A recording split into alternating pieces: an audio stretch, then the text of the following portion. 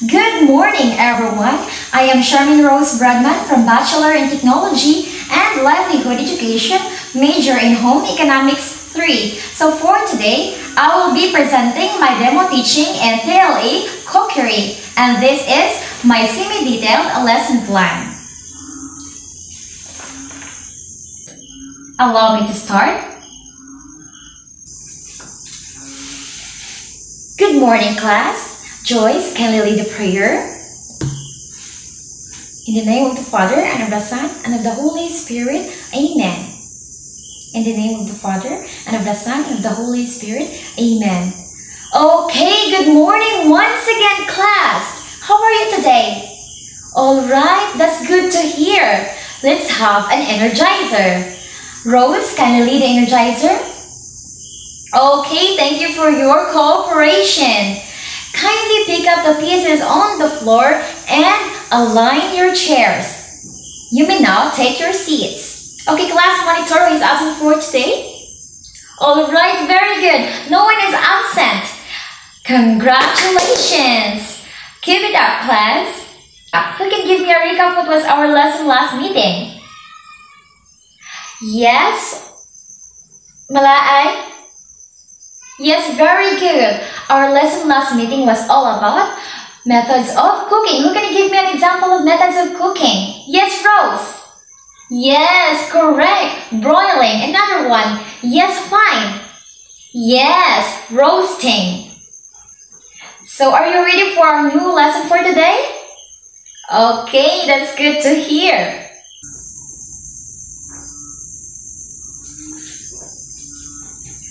So now, as you can see on the screen, there are three objects. Who will volunteer to identify the first object? Yes, Maria. Yes, very good. It is an apron. How about the second object? Yes, Anna. Alright, it is a ladle. And the third object? Yes, Rose? Very good. It is a frying pan. So those three objects you see on the screen have something to do with our lesson for today.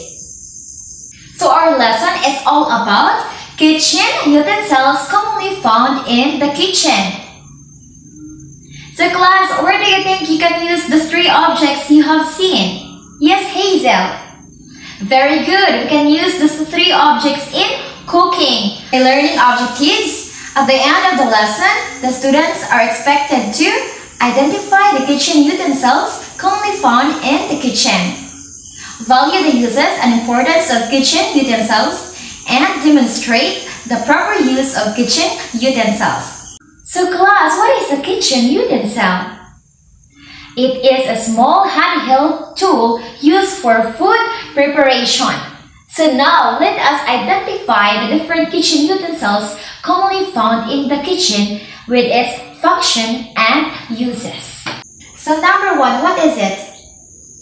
Oh, don't answer in chorus. Raise your hand if you want to answer. Yes, May. Yes, very good. It is a chopping board. It is a durable board on which we place material for cutting. Next, number two. Yes, Ron. Yes, a knife. Is composed of blade fixed into a handle used for cutting such as meat. And number three. Yes, Elsa. Yes, very good. It's a frying pan. It is a flat bottom pan used for frying, searing, and browning foods. Okay, let's proceed to number four. I know you are all familiar with this. Yes, it is an apron. What is the use of apron? Yes, it protects your clothing from any spills on dirt. And next we have, yes, Dana?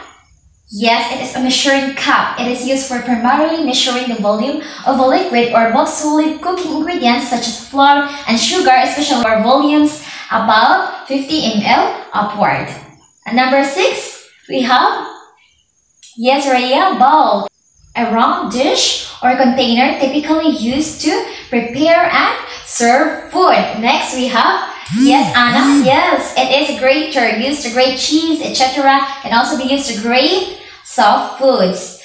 So number eight, these are oven gloves. And insulated gloves are melting usually worn in the kitchen to easily protect the wearer's hand from the hot objects such as ovens, stoves, cookwares, etc.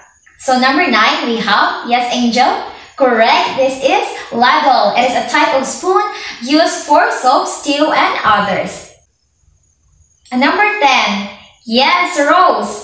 Yes, very good. It is a spatula, you know it. A handheld tool that is used for lifting, flipping, or spreading. And next, we have number 11. So are you familiar with this? Number 11.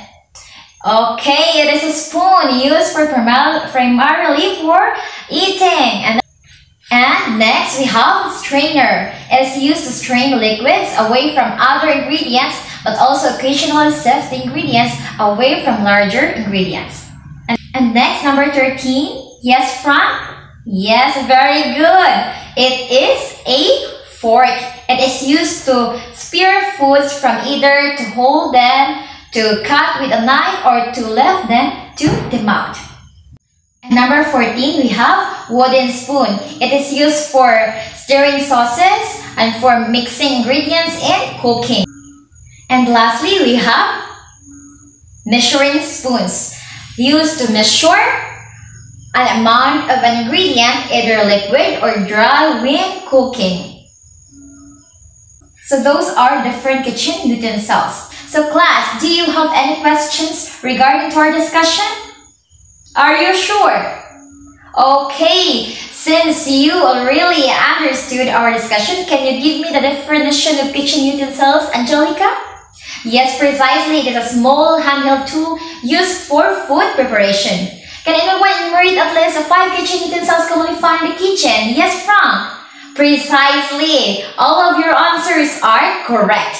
Are kitchen utensils important class? Yes. Why?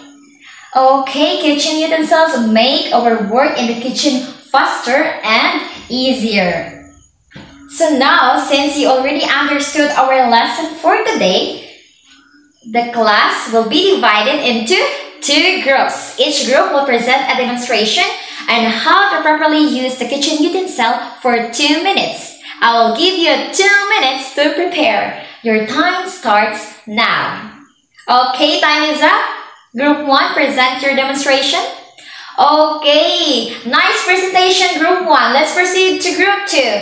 Okay, very good. Nice presentation also. Thank you for so now, since you already understood our lesson, get one fresh sheet of paper and answer the following. Kindly follow the directions as stated on the screen. I will give you three minutes to answer. Your time starts now. Okay, time is up. Exchange your papers clockwise at the count of one, two, three. Let us check your papers. Okay, done. Return the papers to the owner counterclockwise at the count of three, two, one. Kindly pass all the papers to the front. Okay, thank you. Wow, you got all perfect score. Congratulations, everyone. So now class, for your assignment, kindly research and bring at least five different equipments found in the kitchen. So, stand up, let us pray. In the name of the Father, and the Son, and of the Holy Spirit. Amen. Okay, class, dismissed. See you next meeting and keep safe, everyone. Goodbye, class.